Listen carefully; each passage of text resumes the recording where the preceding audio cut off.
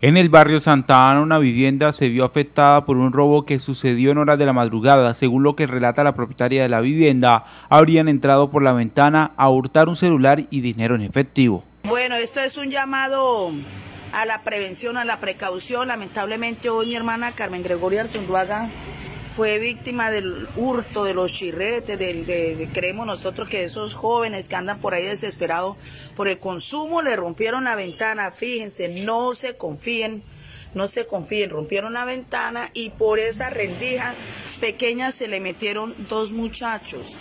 El llamado lo hizo esta ciudadana para las autoridades que tengan en cuenta la modalidad de robo que se viene implementando en ese sector una vecina vio a dos jóvenes acá saliendo y llamamos a la policía, eso fue en horas de la madrugada.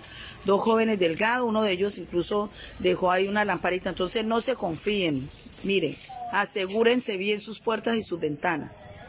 Hoy esperan que en la zona se realice planes de control y vigilancia para que los residentes del sector se sientan tranquilos a la hora de estar en sus viviendas.